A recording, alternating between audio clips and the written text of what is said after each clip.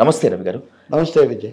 Sir అమరావతికి సంబంధించి నిన్న ఒక కీలక పరిణామం చోటు చేసుకున్నట్లుగా అనిపించింది సార్. అంటే అక్కడ ఉన్నటువంటి పేదలకు జగన్మోహన్ రెడ్డి గారి సర్కారు పట్టాలు ఇవ్వాలనే ఆ ఎపిసోడ్లో హైకోర్టు కాస్త సానుకూలమైనటువంటి దృక్పథాన్ని చూపించినట్లుగా అనిపిస్తోంది సార్. ఏంటి సార్ దీన్ని ఏ విధంగా అర్థం చేసుకోవాలి ఇది మొత్తం అంతా కూడా? సానుకూల దృక్పథం కాదు కానీ వ్యతిరేక దృక్పథం చూపించలేదు. వ్యతిరేకమైన ఉత్తర్వులు ఇవ్వడానికి నిరాకరించింది అనేది ఒకటి నిజం. సార్. రాజధాని అమరావతి దానికి సంబంధించి ఈ వారం పది రోజుల్లో కొంచెం ముఖ్యమైన పరిణామాలు జరిగాయి. అందులో కీలకమైనది పన్నెండు వందల రోజులు పూర్తి చేసుకోవటం. ఆ రోజునే బీజేపీ నాయకుడు సత్యకుమార్ మీద ఏదో దాడి జరిగిందనే ఒక రాజకీయ దుమారం. సార్. సోమ్ వీర్రాజు కూడా ఈసారికి మేము ఇంకోసారి ఇలా జరిగితే మేము ఏమి ఒప్పుకోము అని చెప్పడం. అంటే ఈసారికి మేము ఏదో సర్దుకుంటున్నాం అన్నట్టుగా. రెండవది గతం వరకు ఈ విషయం మీద అంతగా మాట్లాడిన దానికంటే కూడా సజ్జల రామకృష్ణారెడ్డి లాంటి వాళ్ళు చాలా బలంగా అన్ని పార్టీలు వ్యతిరేకిస్తున్నప్పటికీ కూడా మా విధానం అయితే ఏం మారదు రాజధాని మీద మేము ఇలాగే ఉంటాము హ్మ్. అని స్పష్టంగా చెప్పటం. అంటే అమరావతికి సంబంధించిన రాజకీయ వివాదం అనండి లేకపోతే న్యాయ లీగల్ అనండి అన్నీ ఒక కోలికి వచ్చినట్టు. ఇప్పుడే అరసవెల్లికి యాత్ర కూడా వాళ్ళు పూర్తి చేశారు. సార్. ప్రభుత్వం అరసవె ప్రభుత్వం కానీ అధికార పార్టీ కానీ అరసవేలి యాత్రకు సంబంధించి ఎలాంటి ఆటంకాలు కల్పించలేదు. వాళ్ళు అరసవేలికి వెళ్ళి ఆ దగ్గరలో ఎక్కడి నుంచో వెళ్ళారు.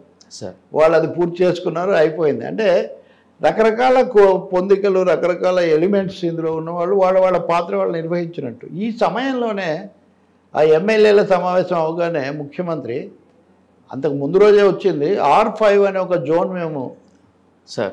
దాన్ని ప్లానింగ్ చేసి అక్కడ పేదలకు ఇళ్ళ స్థలాలు ఇస్తాం. ఈ పేదలు అంటే మీరు అన్నట్టు అక్కడి పేదలు కాదు అన్ని చోట్ల నుంచి వచ్చిన పేదలకు కూడా. సార్. అమరావతిలో పేదలకు ఇళ్ళ స్థలాలు ఇస్తే డెమోగ్రఫిక్ ప్యాటర్న్ అక్కడ జనాభా పొందిక మారుతుంది. అసలు ఆ ల్యాండ్ ఇచ్చింది కూడా అందుకు కాదు దాని ఉద్దేశం నెరవేరదు అని గతంలో ఒక విమర్శ కూడా వచ్చింది. దాన్ని ఆధారం చేసుకొని ప్రభుత్వం కూడా ఎదురుదారి కూడా మీరు ప్రజ పేదలకు ఇళ్ళ స్థలాలు ఇస్తే ఎలా కాదంటారు అని ఒకసారి హైకోర్టు కొట్టేశారు. సార్. కొట్టేసినప్పుడు ఎందుకు కొట్టేశారంటే సిఆర్డిఏ యొక్క విధానాలు లేకపోతే చా దాని నిబంధనల్లో రాజధాని నిర్మాణం కోసమే ఉంది కానీ వేరే దానికి అవకాశం లేదు అన్నారు. అప్పుడు ప్రభుత్వం ఆ నలభై ఏడు నాలుగు ఒకటి ఒక సెక్షన్ ఓకే సార్. దాన్ని మార్చి ఐదు శాతం భూమి పేదల ఇళ్ళ స్థలాలకు ఇవ్వచ్చు అని దానిలో ఒక సెక్షన్ పెట్టారు. అంటే సిఆర్డిఏ చట్టాన్ని ఉల్లంఘించడం అనే విమర్శ వచ్చినప్పుడు ఓకే సార్. చట్టాన్నే కొంచెం సవరించడం ద్వారా వీళ్ళకు భూములు ఇవ్వడం అనే ఒక ప్రొవిజన్ దాంట్లో కల్పించారు. ఈ పరిణామాలు ఎమ్మెల్సీ ఎన్నికలు రెండవది ఇట్లాంటివన్నీ జరుగుతున్న సమయంలోనే ఒక పదకొండు వందల ముప్పై నాలుగు ఎకరాలు ఏమో కొన్ని గ్రామాల్లో కలిపి ఈ ఆర్ ఫైవ్ అని పెట్టి జోన్గా పెట్టి ఇక్కడ వీళ్ళకు స్థలాలు ఇవ్వచ్చు. ఒక్కొక్కరికి ఒక సెంటు. ఆ విధంగా నలభై ఎనిమిది వేల మందికి కుటుంబాలకు సార్. ఇళ్ళ స్థలాలు ఇవ్వడానికి ప్రభుత్వం ఒక జీవో తీసుకొచ్చింది. Okay sir. జీవో తీసుకొస్తున్నప్పుడు ఇది ఎలా కుదురుతుంది? ఇంతకుముందు హైకోర్టు కొట్టేసిన దాన్ని మళ్ళీ మీరు పరోక్ష పద్ధతిలో దొడ్డిదోవలో తీసుకొస్తున్నారు. ఇది సరికాదనే విమర్శ వచ్చింది. కానీ ప్రభుత్వం ఇప్పుడు ముఖ్యమంత్రి నిన్న ఈ సమావేశం అవగానే తన ఎమ్మెల్యేల సమావేశం అవగానే అమరావతి సమావేశం జరిపారు. అంటే దానికి చాలా క్రూషియల్ ఇంపార్టెన్స్ రాజకీయంగా ఇవ్వాలనేది ఆయన వ్యూహంగా ఉన్నట్టుంది. అక్కడే వాళ్ళు ఏం చేశారంటే మేము భూములు ఇస్తున్నాము వీళ్ళకి స్వాధీనం చేద్దాం మే నెలలో కోర్టు తీర్పు వచ్చినప్పుడు దాన్ని బట్టి మనం అంటే పెండింగ్ కోర్టు డెసిషన్ మనం చేద్దాము అన్న వైఖరి తీసుకున్నారు. సార్. అంటే ఏదేమైనా మేము వెళ్తాం అన్న పద్ధతిలో కాదు. ఇది చట్టబద్ధత ఉంది ఇక్కడ.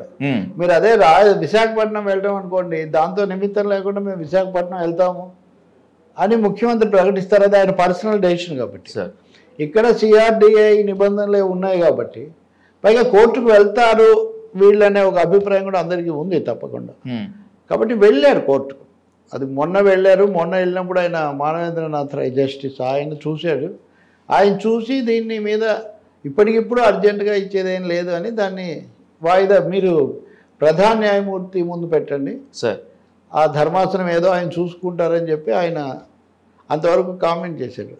ప్రధాన న్యాయమూర్తి ప్రశాంత్ కుమార్ మిశ్రా దీన్ని తీసుకున్న తర్వాత ఇందులో తక్షణ ఉత్తర్వులు ఇచ్చే అవకాశం ఏం లేదని చెప్పారు. నెంబర్. వన్. అంటే ఆ విధంగా దీన్ని ఇప్పటికిప్పుడు బ్రేక్ చేయడం అలాంటి ప్రతిష్టంభన లేకుండాను. రెండవది పేదలందరికీ కూడా రాజధాని అనేది ఒకరిది కాదు అందరిది సార్ కాబట్టి అందరికీ అందులో అవకాశం ఉంటుంది అనేలాంటి ఒక కామెంట్ కూడా ఒకటి ఆయన చేస్తూ దాన్ని మళ్ళీ వాయిదా వేశారు పదో తారీఖు సార్. కాబట్టి ఇప్పుడు తక్షణము దీన్ని ఏదో ఆపేస్తూ ఉత్తర్వులు ఇవ్వకపోవడం రెండోది ఇది అందరికీ చెందుతుంది అనే ఒక వాదన వాళ్ళు చేస్తుందే న్యాయస్థానం నుంచి రావటం అన్నది వీళ్ళకి కొంచెం ఉత్సాహం కలిగించే విషయమే కావచ్చు తుది తీర్పు ఎలా ఉంటుందన్నది ఒకటి. సార్. ఇంకొకటేమో చాలా పనులు మిగిలి ఉన్నాయి కదా అటువంటిప్పుడు.